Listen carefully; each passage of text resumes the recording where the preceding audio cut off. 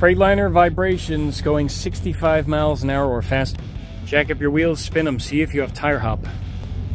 When you come off the highway, grab your hubs, see if one's excessively hot. If so, you have a wheel bearing problem. Pry up and down on the wheels when they're jacked, see if your wheel bearings are tight. Spin the wheel and check between the drum and the shoe. See if you have a gap that actually grows. If so, your drum's not centered. Minimize the angle on your rear drive shaft by raising your airbags. Making sure your drive line angles match up. If the rear drive axle pinion is pointing up, the front drive axle pinion going to it must match the same angle. It cannot be like that. If you raise your airbags, you'll notice this angle actually goes up.